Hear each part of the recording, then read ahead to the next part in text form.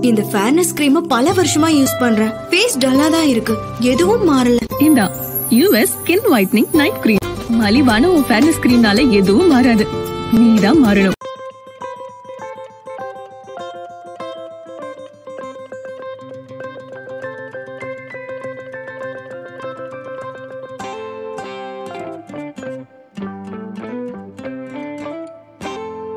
உலகத்துல பிறந்திருக்கக்கூடிய ஒவ்வொருத்தருக்குமே அவங்களுடைய ஸ்பெஷலான டே எதுன்னு கேட்டிங்கன்னா அவங்களுடைய பர்த்டே தான். அந்த ஸ்பெஷலான டேல அவங்களோட லைஃப்லயே மறக்க முடியாத ஒரு கிஃப்ட் ரொம்ப நாளா அவங்க கேட்டுட்டு இருந்த ஒரு கிஃப்ட் கிடைக்குது அப்படின்னா அந்த சந்தோஷத்தினுடைய உச்சக்கட்டம் கண்டிப்பா கண்ணீரா தான் இருக்கணும். அந்த ஒரு உச்சக்கட்ட சந்தோஷத்தை ஜெயம் ரவியோட ஒய்ஃபான ஆர்த்தி அவங்களோட மகனான ஆரவுக்கு கொடுத்துருக்காங்க. இந்த ஒரு கிஃப்ட்டுக்காக ஏழு வருஷம் காத்துட்டு இருந்த அந்த பையன் ஆரம்பத்துல எங்களோட சுயநலத்துக்காக இவன் கேட்டதை நாங்க வாங்கி கொடுக்கவே இல்லை.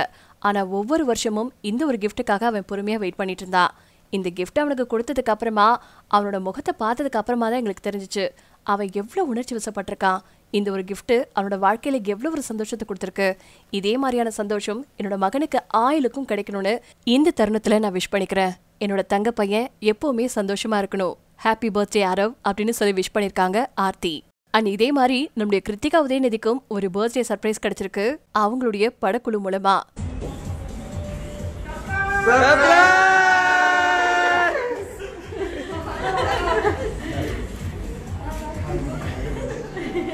மாஸ்க்ல ரியாக்ஷன் மாஸ்க் ரியாக்ஷன் தெரியல எங்களுக்கு. கிருத்திகா உதயநிதி இப்போ ஒரு படத்தை டைரக்ட் பண்ணிட்டு இருக்காங்க. அந்த படத்தினுடைய ப்ரொடக்ஷன் மீட்டுக்காக போயிருந்த போது தான் அவங்களுக்கு இந்த பர்த்டே சர்ப்ரைஸ் கிடைச்சிருக்கு.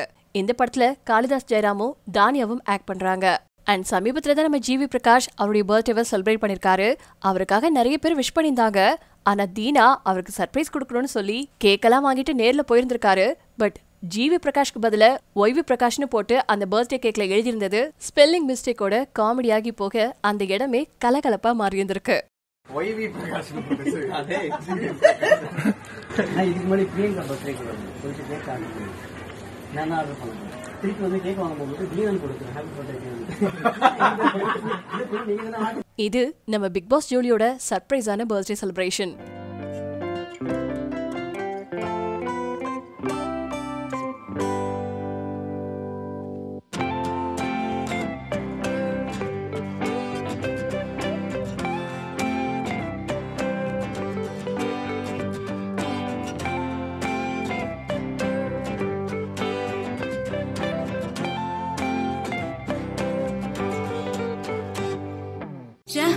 இந்த ஃபேர்னஸ் கிரீம பல வருஷமா யூஸ் பண்றேன். ஃபேஸ் டல்லா தான் இருக்கு. எதுவும் மாறல. இந்தா US skin whitening night cream மலிவான உன் ஃபேர்னஸ் கிரீம்னால எதுவும் மாறாது.